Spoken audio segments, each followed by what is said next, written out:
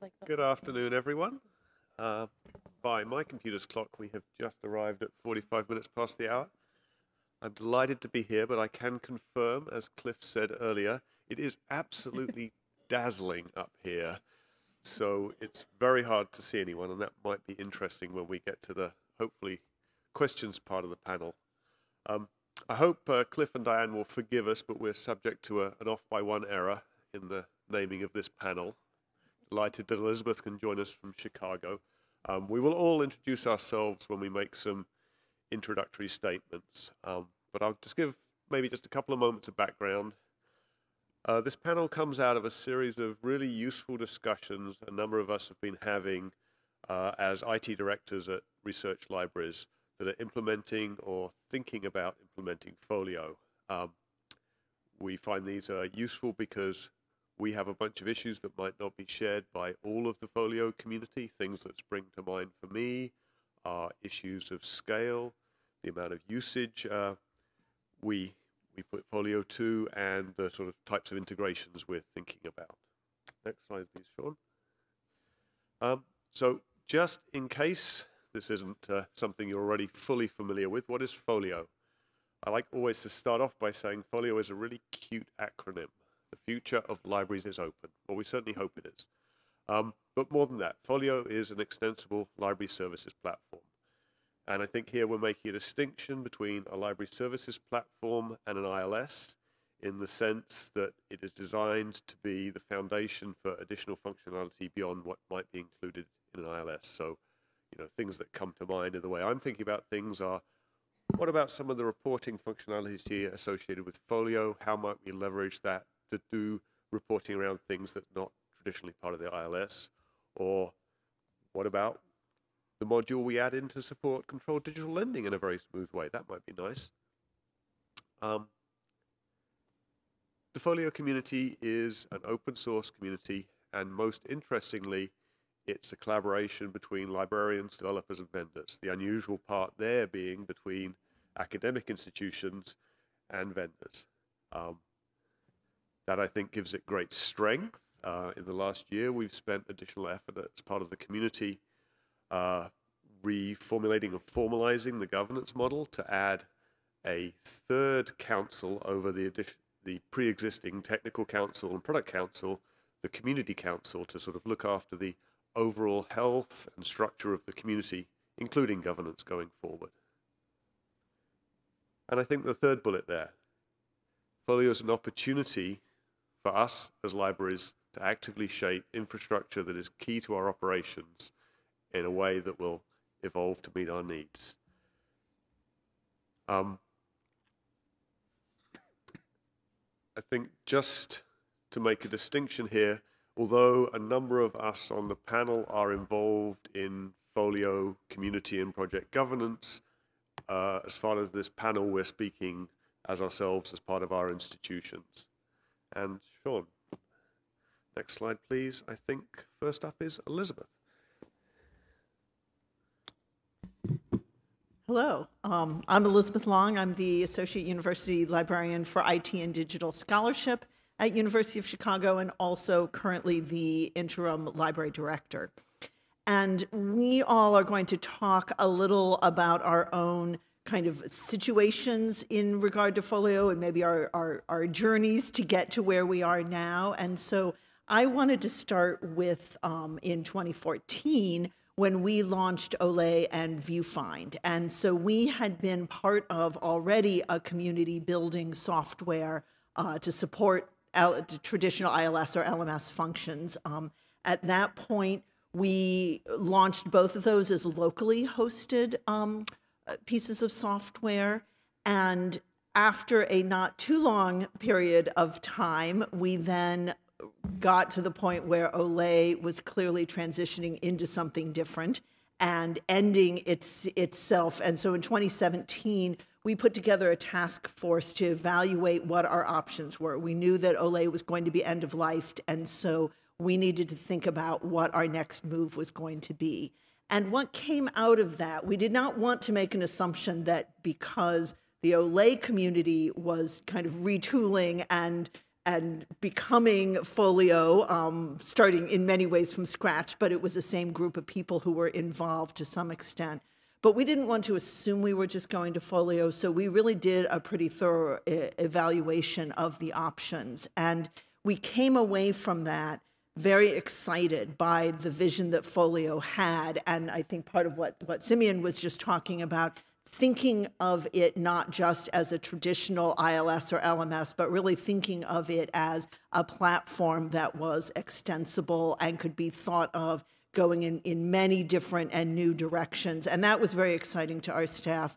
It also, we realized, was a very good cultural fit for us. We were used to having direct access to our database, to our data. We were used to having involvement in the development of the software. We were very committed to open source. And so all of those made us make that decision that we wanted to go with Folio. And at that point, more fully commit ourselves to involvement in all of the governance structure, the the different special interest groups that were defining what Folio was was becoming.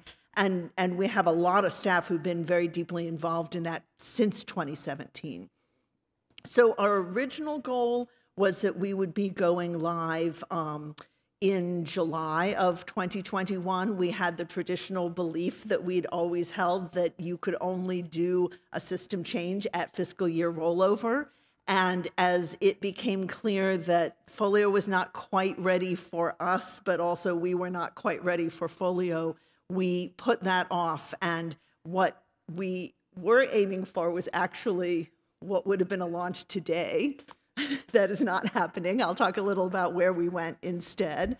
Um, so, so we had been aiming for. We we turned around and said, we actually realize we can go sometime other than fiscal year rollover. That's that's a doable thing, and that was a really important step forward for us in how we thought about implementing a system. During all of this time, we had a real lack of staffing. Um, we had some open positions that, especially once the pandemic hit, we had uh, hiring freezes and we're not able to to fill those. But we also had so many other competing open positions that we had a real problem thinking about how do we manage this project going forward. And so we actually contracted with Index Data to act as project managers for us, just doing the prep to get to where we could be thinking about what planning migration itself would look like. We have also subsequently worked with them, and they are going to be our hosting provider and are, are working with us very closely on our migration. In the meantime, something else I wanted to call out was a collaboration that ended up happening between us, Cornell Duke, and TAMU where we realized there were some things we wanted and and the highest priority one was an integration with OCLC's Connexion. And so we worked with index data to build that as something that we did to to you know bring back to the community but kind of separate from the ongoing folio schedule for when things would get done because we saw that as high priority. And that's the type of thing that really was for us the, the vision we were looking for was an ability to have partners and to work on things that were high priority to us.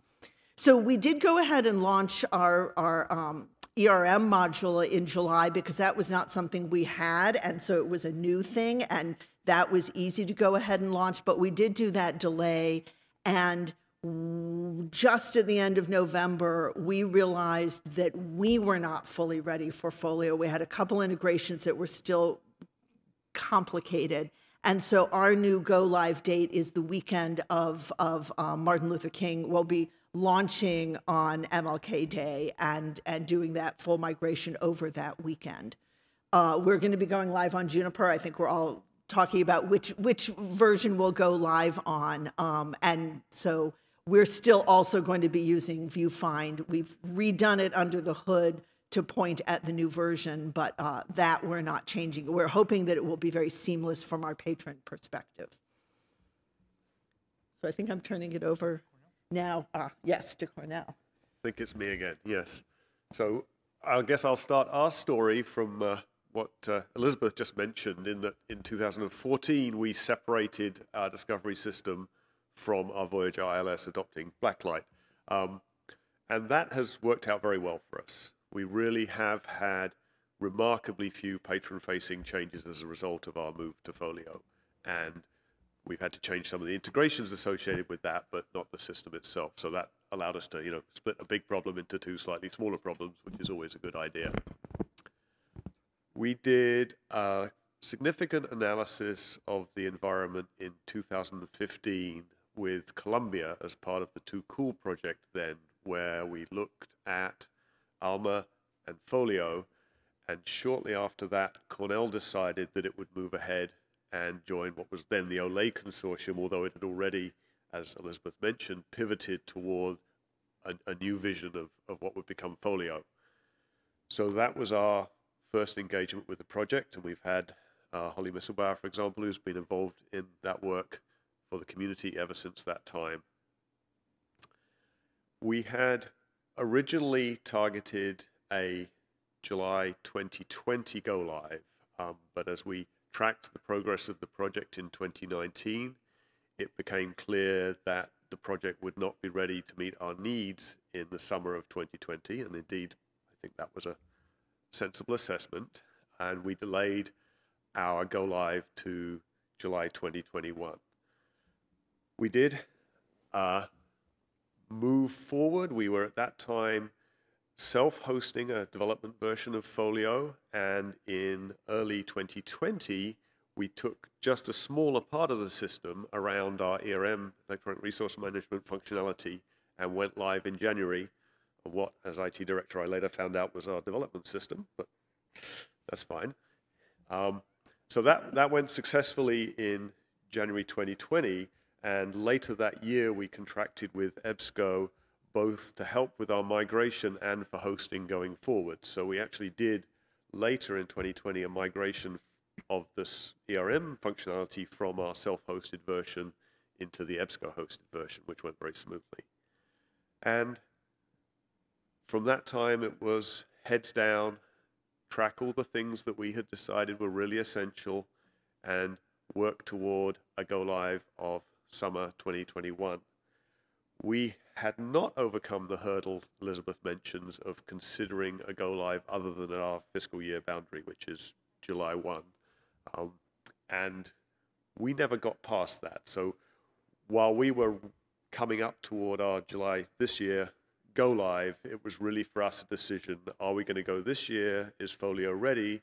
Or do we have to wait another year till July 2022?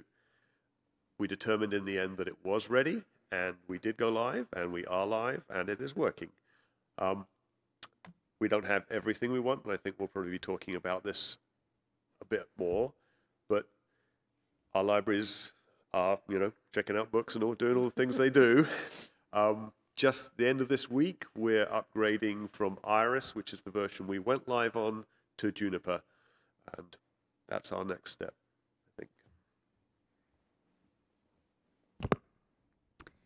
Hi, everyone. I'm Jamie Wittenberg. I'm the Assistant Dean for Research and Innovation Strategies at the University of Colorado Boulder Libraries. And I wanted to start by talking a little bit about what happened before I got to CU Boulder in 2020. So please don't ask me about the dark days before June 1st of 2020.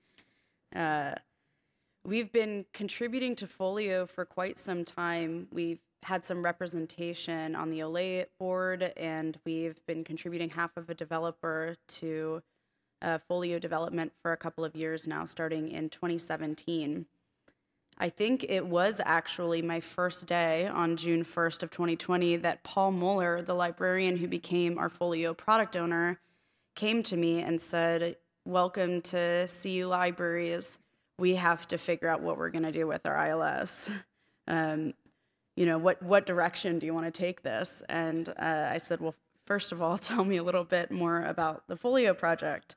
So I'm new to the Folio community, um, and you know, our digital strategy in general at CU Libraries um, is built on you know this this premise that our infrastructure in our libraries should both reflect and advance our core values. Um, and you know those core values are centered on transparency and openness and access. And that's the primary reason that we made the decision to move to Folio um, for our LSP.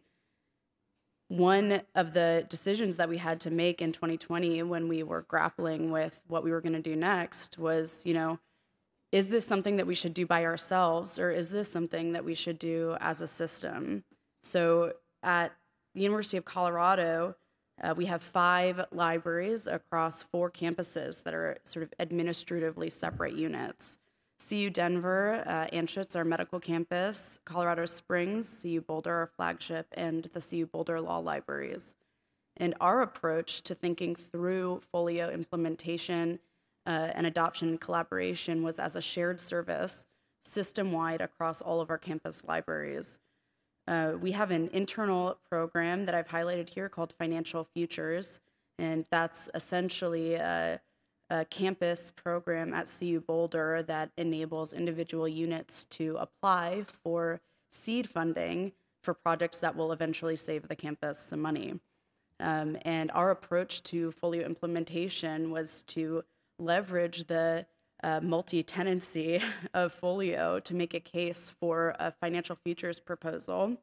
And we wrote an application. We spent much of 2020 doing that um, together uh, across all of our campuses. Uh, and I submit it uh, to our CFO with letters of support from each library in the system.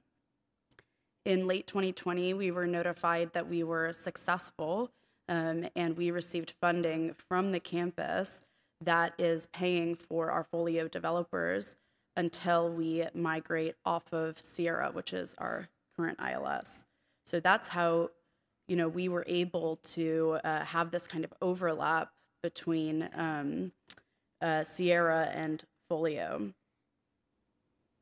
Uh, once we received notification that you know we had we had been approved by the campus to move forward with this project, um, we were able to hire some developers and uh, make some decisions around what we were going to do for discovery.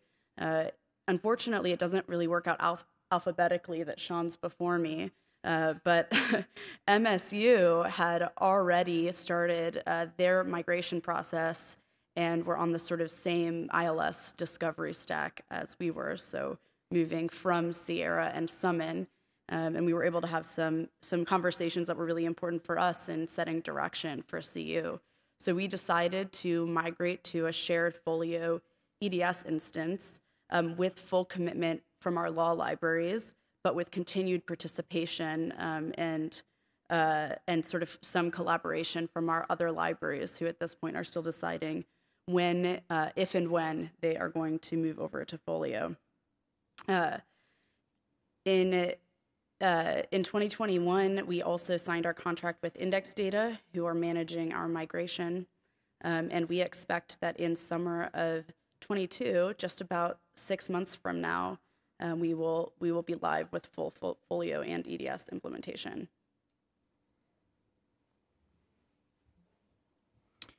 Good afternoon. I'm uh, Tim McGeary. I'm the Associate University Librarian for Digital Strategies and Technology at Duke University.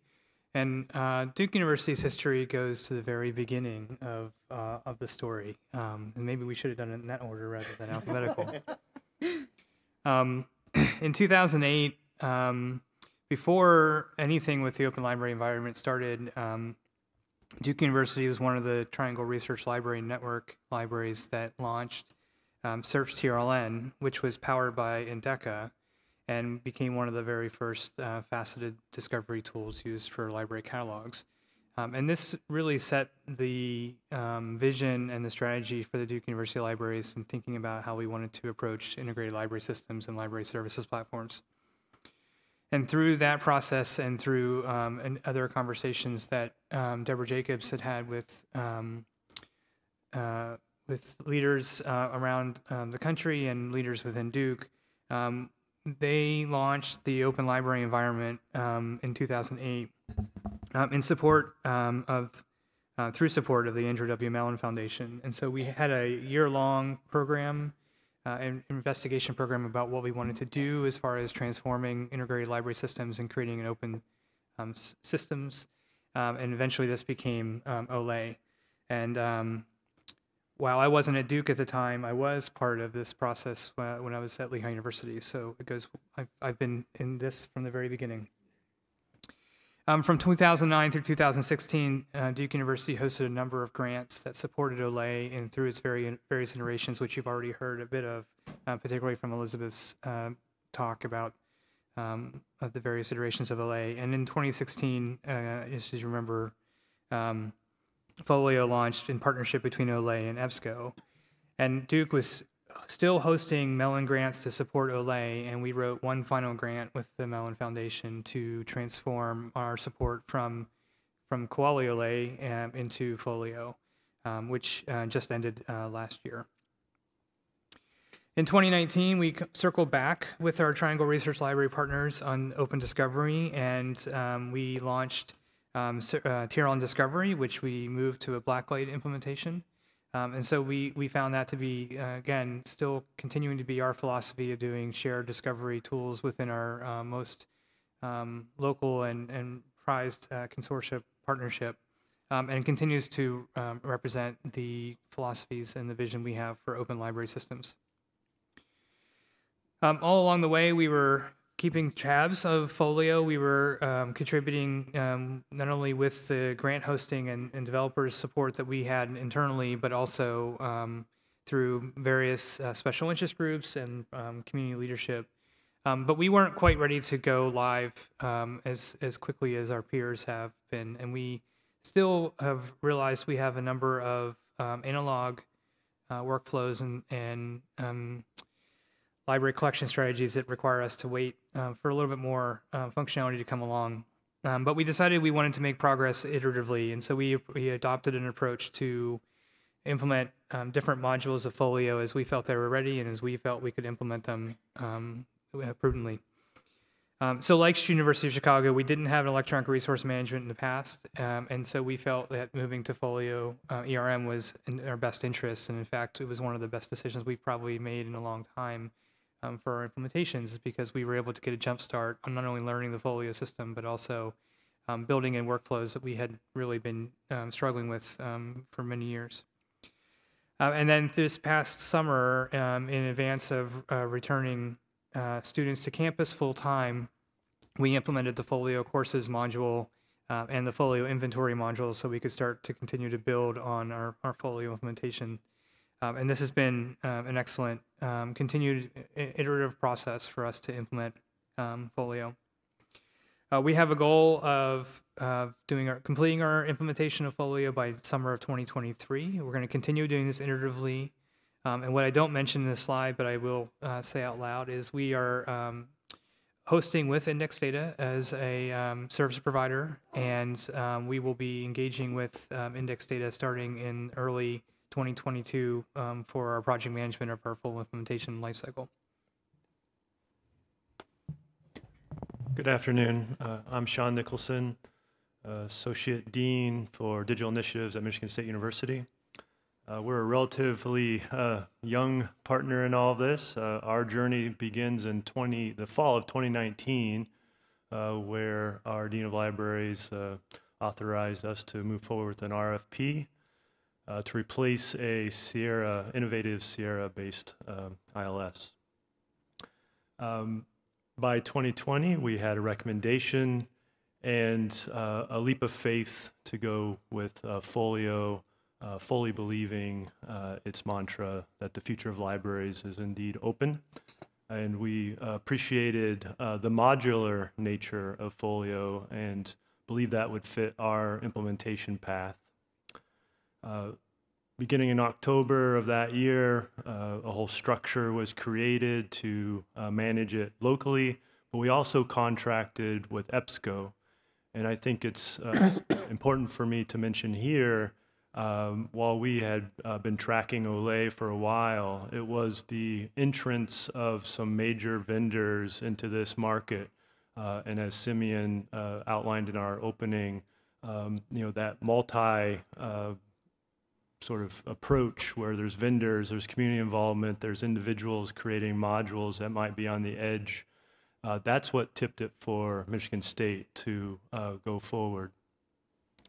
And um, again, because it was modular, and unlike our uh, friends at Chicago, uh, we believe that we must go at a fiscal year, uh, but we uh, singled out the finance and acquisitions modules and ERM to go live in uh, July, which corresponds with our uh, fiscal year, uh, but could set aside circulation and cataloging, the two areas of the LSP that we felt were most wanting per our needs. We um, talked gingerly and um, in hushed tones about going live with those two elements, the pillars of Folio, in this uh, time frame of this year. Uh, but after our assessment, um, I think uh, Simeon said it was his was uh, reasonable. Uh, I don't know if ours was reasonable, but we did make the decision to postpone. Uh, we are now targeting moving forward in June of uh, 2022. And we're currently on um, Juniper Hotfix 4 and uh, have been successfully migrating with each software release. Uh, those of you that uh, are new to uh, Folio, their uh, software releases correspond with a set of flowers and they're alphabetic. Um, so we'll be moving forward with Kiwi, which I did not know was a flower until I joined the Folio community. I thought it was a bird. Um, but we'll be moving forward with that in um, January. And um, the other thing I should point out is, uh, as an EBSCO client, uh, we're going to be one of the largest uh, in the world uh, once we uh, migrate our uh, data and our full inventory is looking at a little over 11 million items. And so um, the bottom, uh, second to the bottom, may upgrade to Lotus and Cutover. Uh, what we found, uh, there's a very nice roadmap for the um, flower releases of the software, uh, but we have seen some slippage, and I mentioned before we're on Juniper Hotfix 4, which is a critical uh, element. Um, so we're playing this by ear about our uh, migration uh, pattern because we are targeting Lotus as some key features for our library. And uh, we've been very fortunate that our um, campus has supported us financially. So we're running, um, uh, you know, committed to uh, Folio and committed to our partners at EBSCO to help host and do some project management for us. But we're also maintaining our subscription to Innovative Sierra. And without that, um, we would uh, have been pushed uh, much too fast uh, for not only the technology but the psychology of our uh, library and, and i think we might get into that a little bit later in the q&a um, but uh, i will close with that So the ordering did work out for Stanford, both alphabetically, because I believe we're last, but also chronologically, because we are the newest uh, institution, at least on this stage, uh, to jump towards Folio. Uh, We've been running uh, what's currently Symphony for about the last 25 years, and uh, we're, it it actually works uh, it is not a house on fire. And so for us, the decision to uh, first explore and then move towards Folio is because we see this as a good strategic opportunity and the timing is right. Um, uh, around 2018, 2019, uh, as with many of the other institutions on stage, we had our eye on the ILS market. And in 2019, we said it is, uh, would probably make sense to organize an investigation and exploration into Folio. So we formed a steering committee at that time and basically spent the next year uh, monitoring and observing how Folio worked as a software project and as an open source community.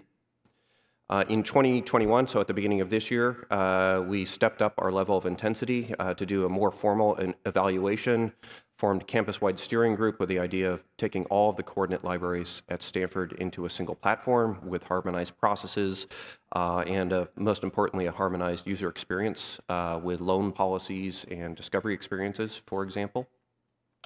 And in uh, Q3, uh, we actually made the formal decision to go. Uh, we, we had sort of been expecting we would go that way the entire time. We found nothing that surprised us, and uh, once we pieced together the things, uh, all the individual elements, we realized it was, it was doable.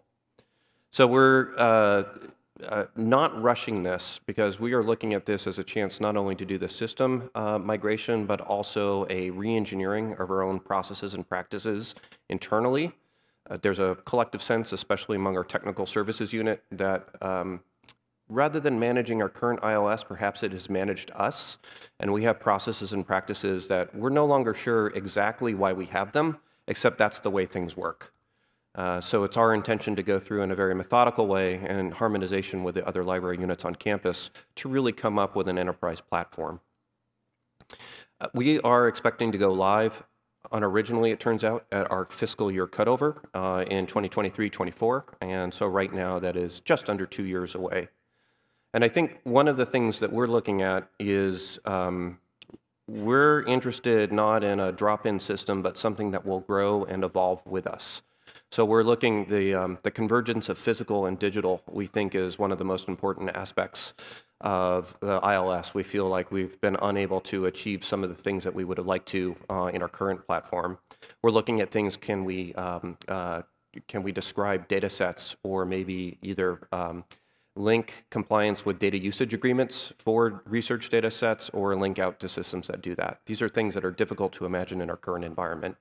Uh, from looking at Folio, we think this is completely feasible, though it's not there on day one, but we expect it to be there over the next, we're, we're looking at this as a kind of a 10-year journey. So that's where we are, and I think we can turn it over to Q&A now.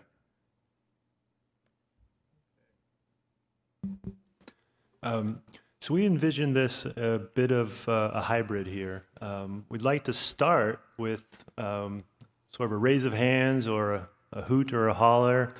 How many of you are here just because you're curious about Folio?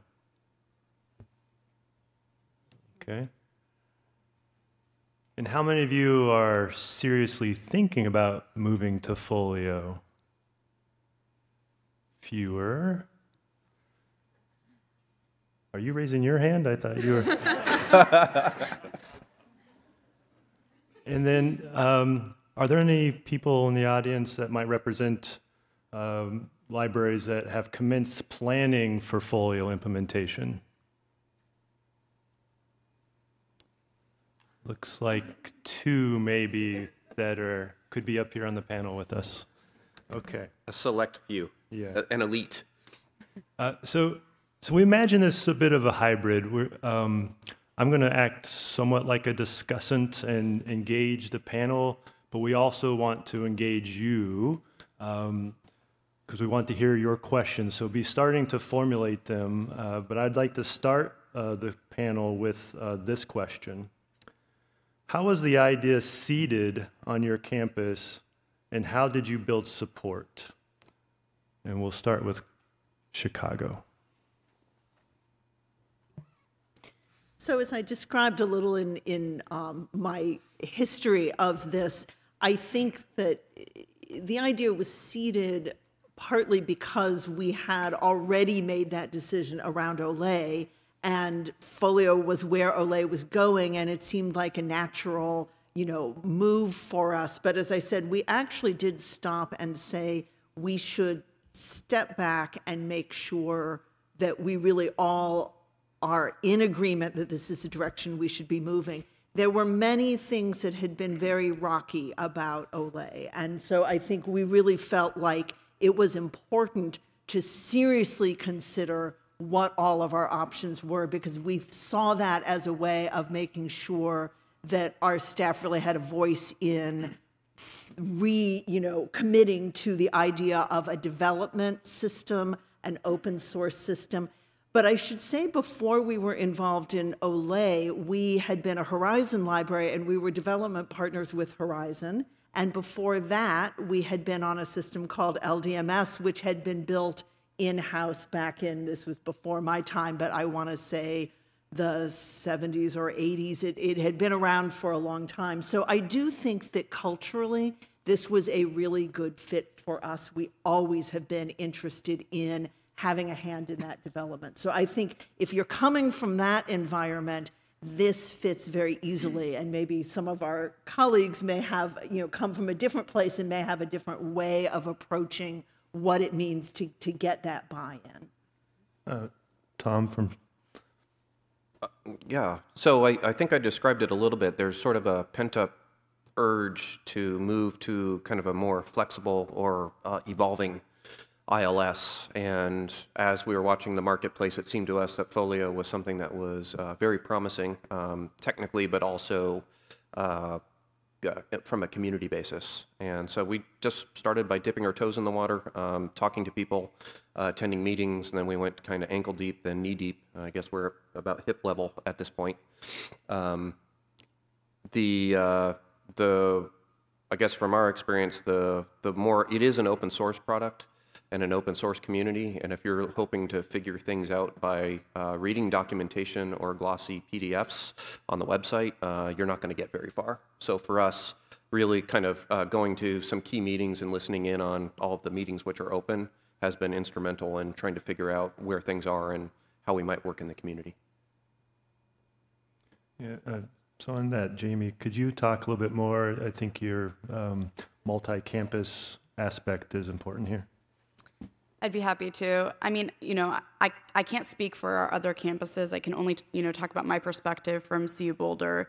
Um, but I think that for us, it was really an opportunity to think about how can we shape the future of our own infrastructure collaboratively as a university. And it it it is it is really about that focus on what the kind of LSP of the future is. Um, but there were also financial uh, factors. And you know, when I was talking to some of our other libraries, I mean the uh, the value proposition, you know, from a practical perspective, was centered around this financial futures proposal, and so there was a, um, a cost element there as well, where we said, you know, if this is something that we all want to contribute to and we think we can do together, you know, it can save us X percent on our costs as a university, and I think that that was important for us um, as a public university and a state institution. We're always trying to do better by our by our state, so that was a factor as well. Uh, I'd like to switch gears a little bit. And um, Simeon, uh, you're the furthest along of the institutions. Could you um, share with us some of the pain points or uh, considerations that uh, folks out here might be wanting to think about as they uh, consider going live? But um, I don't want you to focus only on the negatives, but I think um, sharing some of those will be illuminating. Thanks. Well, I think for us, it really was a case over this last year or two of tracking what's the reality of where's the project at. You know, we bought into the vision, the architecture, the notion of community and open source. That's all great, but at the end of the day, we do need a system that works. So for us, part of the decision to go live was about what is it we really need to go live that allows us to take a step forward onto this new track where we will get everything we want sometime down the road. And we did go right on the cusp of Folio being sufficient for us to get by. It's an enormous credit to our staff for managing to do this. One, for managing to make the assessment carefully enough that we didn't get it wrong and crash and burn on July 1. That would have been bad. And also to our staff for putting up with a system that was only just ready. So initially we had some performance issues, which we had to work through with, with EBSCO to make sure that we got, say, circulation performance that was okay and things. And there have been a number of improvements since then. And now that we look at the pipeline of future releases, we're expecting to get a lot more at the end of this week, and we'll get more with Kiwi, and we'll get more with Lotus.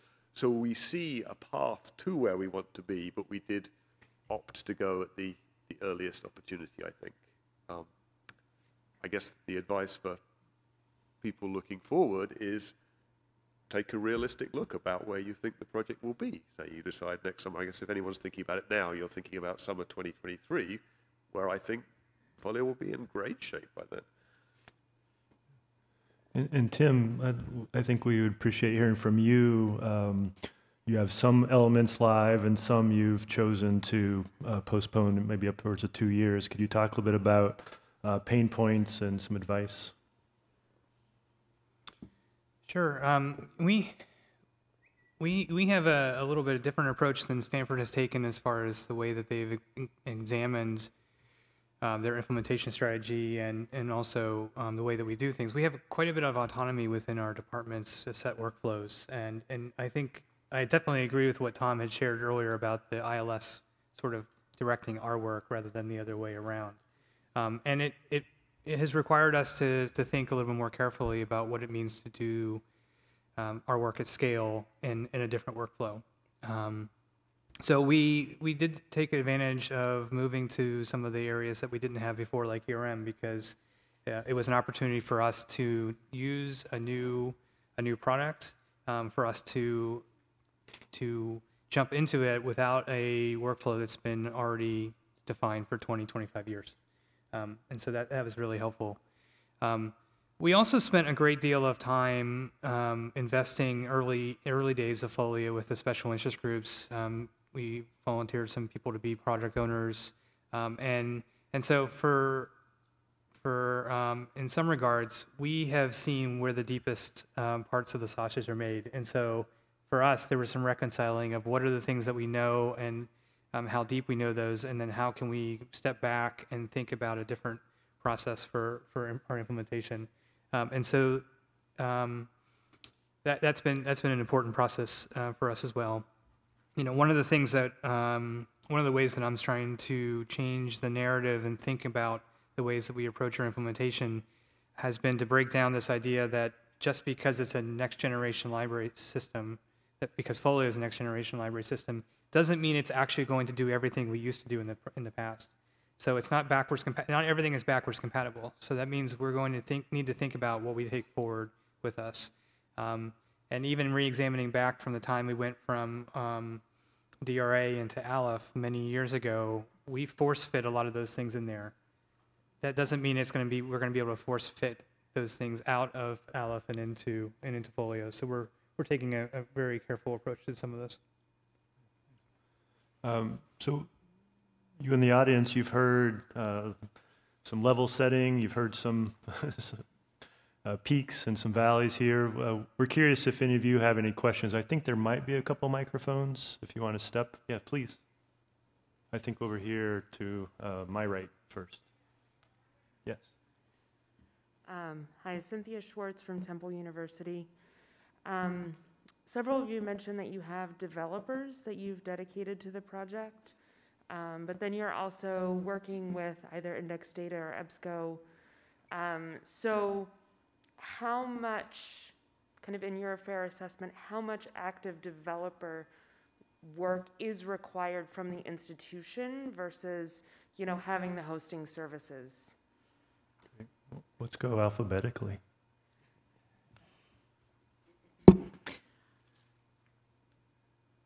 So we have developers that are working on our own integrations that we have built around our, our ILS systems.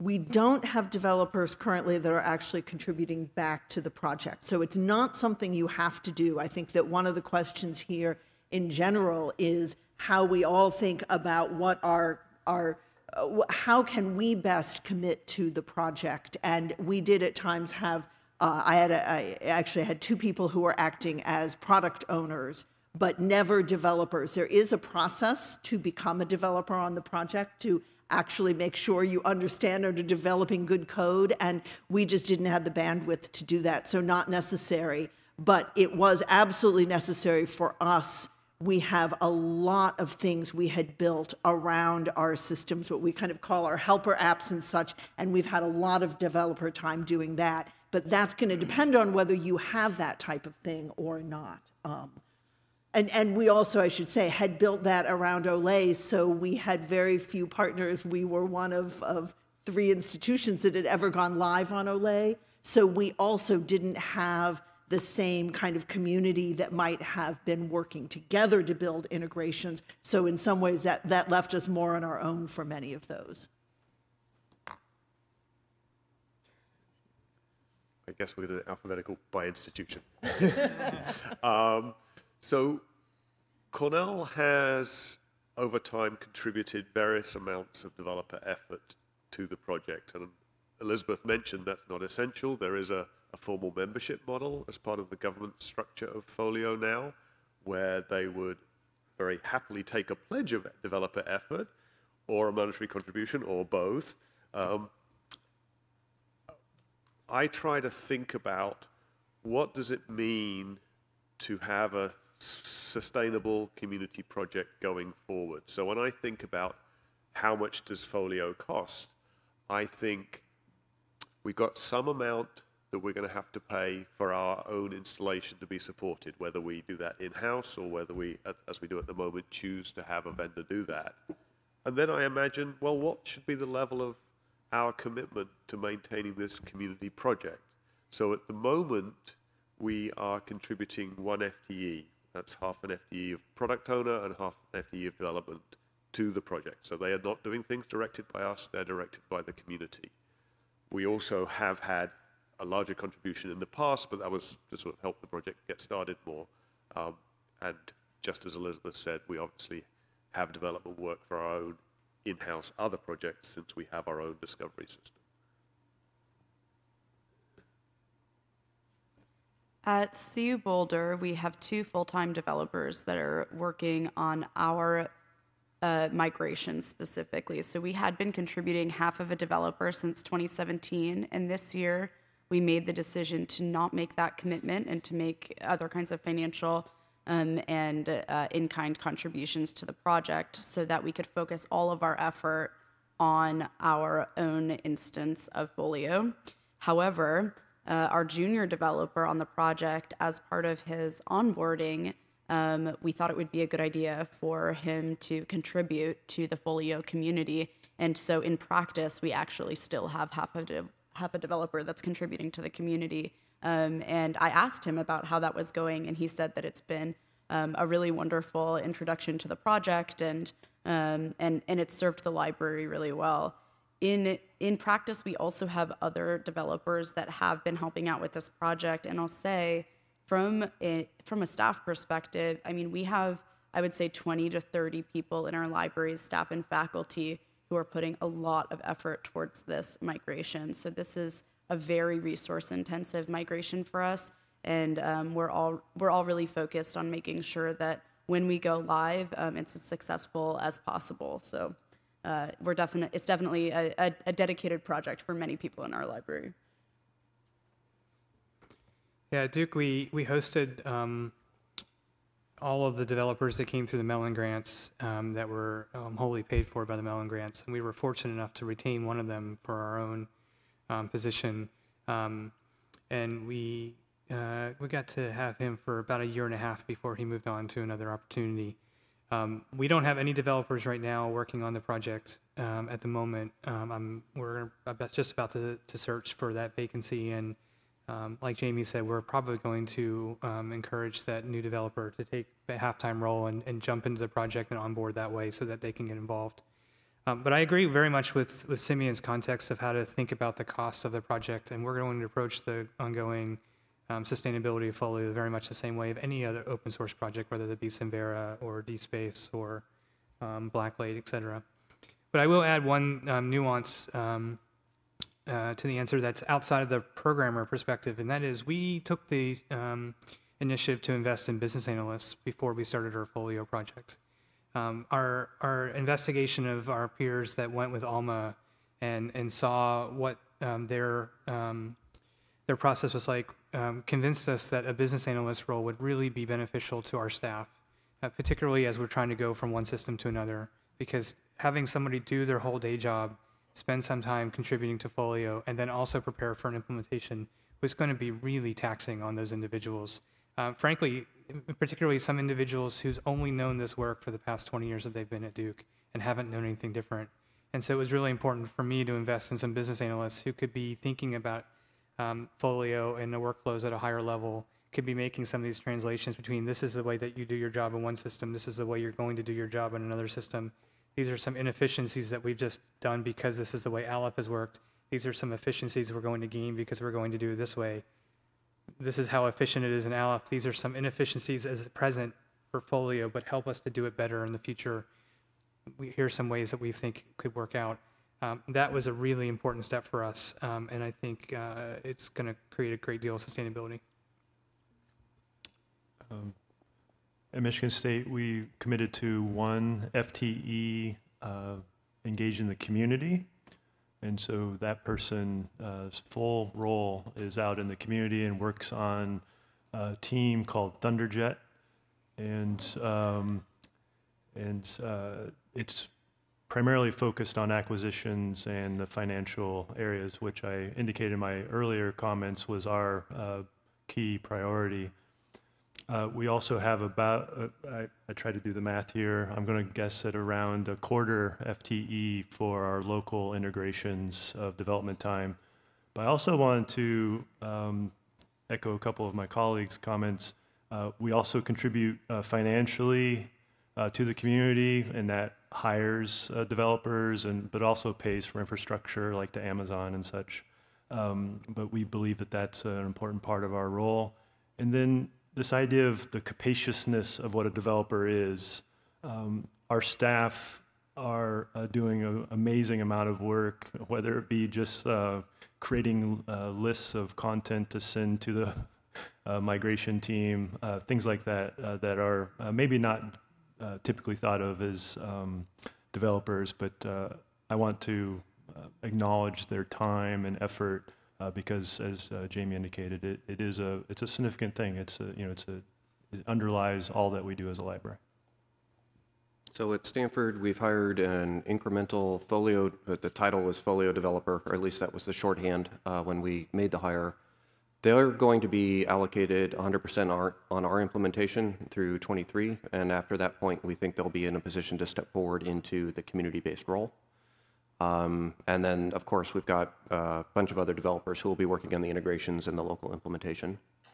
So, uh, and partly that was because we feel as new, relative newcomers to the community, we're not really sure what uh, effective contribution we can give or where the greatest priorities will be. So part of it is just learning and coming up to speed ourselves. There's one big caveat, and I'll just slip this in because I don't know if it'll come up in any other questions. We have another team uh, for the last several years. We've been part of the LD4P uh, grants and working on linked database cataloging. We're at the point in that series of projects where we figured out that for linked data to really take off in the library descriptive environment, it needs an integration with an ILS. So we currently have our, our full um, our full development team that's working on that is putting half their time into feature enhancements for Sinopia, the linked data editor, and the other half of the time is actually working on a integration right now with Folio, which is an awesome example of kind of the openness that comes with uh, an open source software platform. Thank you for being so patient. All of this is really, really fascinating. Um, my name is Kara Whatley. I'm at Caltech, and I didn't raise my hand earlier um, because we've actually already migrated. Um, and I didn't realize that everybody uh, migrated to align with their fiscal year, but we did. So we came up in at the end of September, um, and uh, it's it's amazing like how much of our um, experience has been echoed there. And um, I'm really interested in, in kind of the things that you were just talking about, you know, sort of where you're putting your development time and, and kind of where um, you're thinking about um, continuing to develop Folio. One of the things that we've been working on is controlled digital lending. Um, and I thought I heard one of you mention it earlier in the in the panel. So that's that's what I was interested in is is hearing you say a little bit more about your thinking um, of CDL related to Folio. Thanks. I guess I should answer first since I think it was me who said that.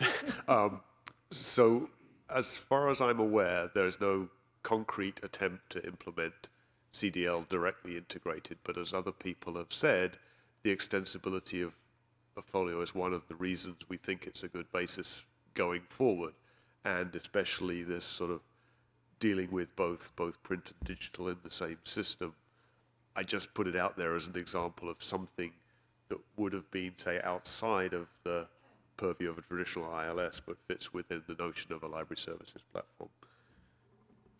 And I can also add that, in fact, we are in the process of installing what you've done for CDL, and, and it is exactly, we're very interested in that. We had been, had a test instance of another CDL solution, but we're much more interested in one that could integrate with Folio and that, that to us was more future looking. And so we're just now in the kind of implementation test phase of it. But I think that it is also a really good example of of how and why we went for this platform because of our interest in being able to grow it into into new areas like that. And I want to point and, and link data as well. That was really one of our interests at the time. Was it seemed to be the one system that was looking towards being able to expand in those ways.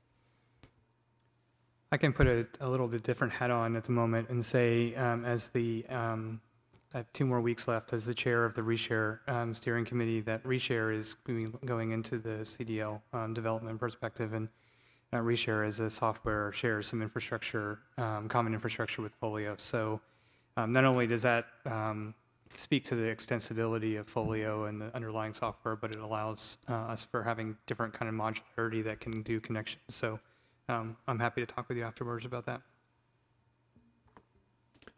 We have another question over here. So um, uh, one of the things we often don't talk about in presentations like this, and I will be myself, I'll call myself out, um, is what did you have to deprioritize when you took on this work? Um, are there certain things that you wish you could have done instead um, that maybe you had to push off what was the consternation that then occurred? Because that always occurs when you have to deprioritize things. And i'd love to hear that conversation. And again i've done these panels and i am guilty of not um, talking about that myself. I can I can start because I feel like we have have had to deprioritize a lot. I mean, when you make a decision to do something this big, you have to deprioritize, or else, you know, you you will have a lot of very unhappy librarians uh, that are overworked. My product owner for Folio, I think I said to him, "Are you okay with just doing this for two years?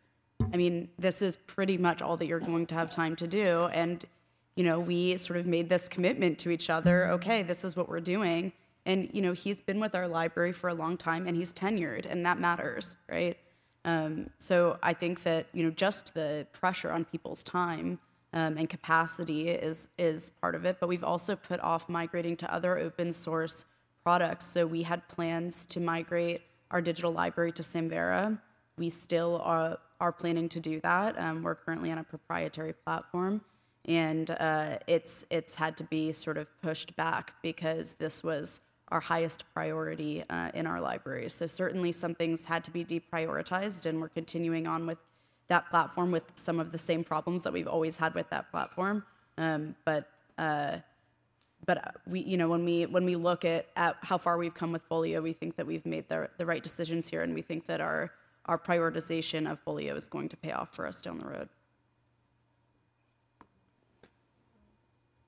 So I'll start with there's just the opportunity costs that are lost, and so there were um, some bespoke applications that were in our planning cycle and when we devote an entire FTE developer to the Folio community, that means you cannot do those things. So we deprioritized those um, and identified them and said they needed to wait. Um, but one thing that we're being recorded, right? Um, uh, acquisitions has suffered. Um, we've had to deprioritize some of the high level, rapid turnarounds. Um, um, we, we pay our bills, but they take a lot longer, frankly, because some of the folios, uh, I'm not an acquisitions person, but uh, my understanding is uh, some of the functionality of folios acquisitions and the uh, finance uh, modules, uh, it's a struggle to get through those. And so, and that's hard on staff who had prided themselves for so many years of, you know, being on top of all that. Um, so those are two areas that I can point to pretty easily. Thanks for your question. And I would also add, to, to be honest, I think we've we've sacrificed a certain amount of just production work. And, and I, I would say that in light of really um, seconding what Tim said about a business analyst. We don't have one. We, we really, I think, have suffered from not being able to fill a position like that. And we've had the advantage that our staff, having been involved very recently in the move to OLE and being involved in the development, are able to actually do a lot of that work. And they, they don't need someone to help them think through that, but it means they're spending their time doing that. And that means they're not able to spend as much time doing doing their just regular work. And we've had to really look at balancing that. And so I think the more you have some staffing based on ju- just to do the work of the migration and the planning, the less that you have that. But we've really been been torn between the two, partly because of open positions and such. I see we have one more question, but I want to just add one little, little twist to the answer, which is we deprioritize folio in our in our processing planning in, in, at Duke, really, um, because we recognized that as the ones who started this whole thing, we couldn't really back out for any other reason besides total failure, which we didn't see obviously um, in the future, and we certainly didn't want. So we chose some other priorities first. We chose to um, do our discovery layer first. We chose to do our Drupal migration next. Um, and we knew that we had some time um, to deprioritize Folio and do that a little bit slower. I'm, I'm very sorry, uh, but we have reached time. Uh, I'm sure the panelists would be happy to uh, chat with you with your question. Um, uh, as a de facto discussant, uh, I hope you would uh, join me in thanking uh, the panelists and myself. Uh, so, uh, thank you very much for attending, and we look forward to continuing the conversation.